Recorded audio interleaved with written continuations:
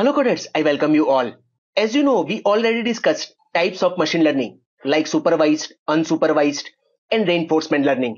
In this video, we are going to discuss batch learning, online learning, model based learning and instance based learning. So let's get started. First, batch learning. So in batch learning, the model is trained on a fixed dataset all at once. The model is trained on the entire dataset before any predictions are made. So please remember, batch learning is suitable when the entire dataset is available and it is feasible to train the model on the entire dataset. Now suppose our system means our model is trained and then it is launched into production. After that, our model runs without learning anymore. It just applies what it has learned. Means in batch learning, if we put our model into production, then learning will not happen. It just applies what it has learned. This is called offline learning. Now suppose if you want a batch learning system to know about new data, let me take one example. Suppose you have developed a model for spam classification right? Currently it is in production and suppose you want to train your model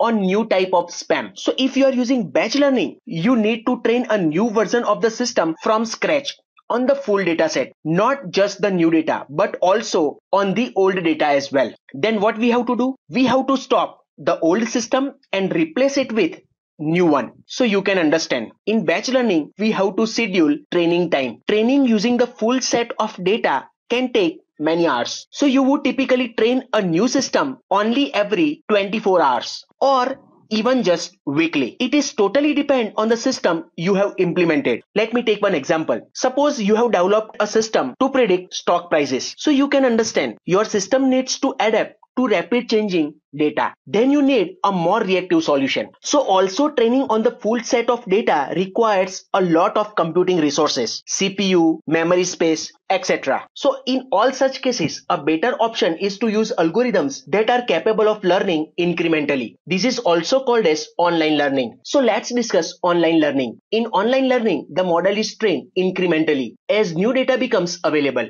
the model is updated continuously. Online learning is suitable when new data is arriving continuously. Online learning is great for systems that receive data as a continuous flow, like for stock price prediction, which needs to adapt to change rapidly. Please remember online learning is a good option if you have limited computing resources. Once an online learning system has learned about new data instances, it does not need them anymore. So you can discard them. This can save a huge amount of space. Online learning algorithms can also be used to train systems on huge data sets that cannot fit in one machine's main memory. Please remember this is called out of core learning. The algorithm loads part of the data, runs a training step on that data and repeats the process until it has run on all the data. This is called online learning where model is trained incrementally as new data becomes available. So as you can see here, for batch learning, you can use linear regression, decision trees, support vector machines, etc. For online learning, you can use stochastic gradient descent, online passive aggressive algorithm, perceptron, etc. So now let's discuss model based learning and instance based learning. Model based learning is also called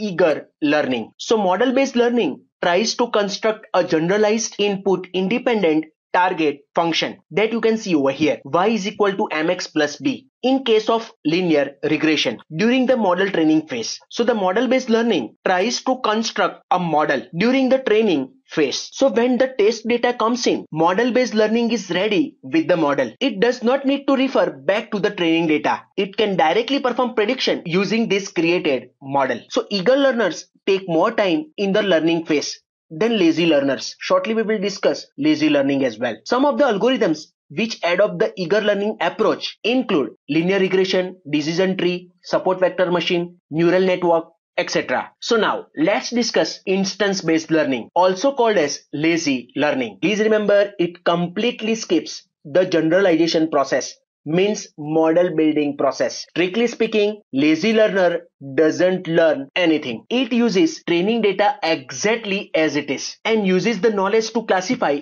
unlabeled test data. Since lazy learning uses training data as is, it is also known as rote learning, which means memorization technique based on repetition. Due to its heavy dependency on the given training data, it is called as instance based learning. Lazy learners take very little time in training because not much learning happens. One of the most popular algorithms for lazy learning is k-nearest neighbor. The k-nearest neighbors algorithm stores all the data points in memory. When a new data point is presented, it looks for the k closest neighbors to that data point and uses their outcomes to make a prediction. This is called as instance-based learning or lazy learning. Hope all of you are clear with batch learning, online learning, model-based learning and instance-based learning.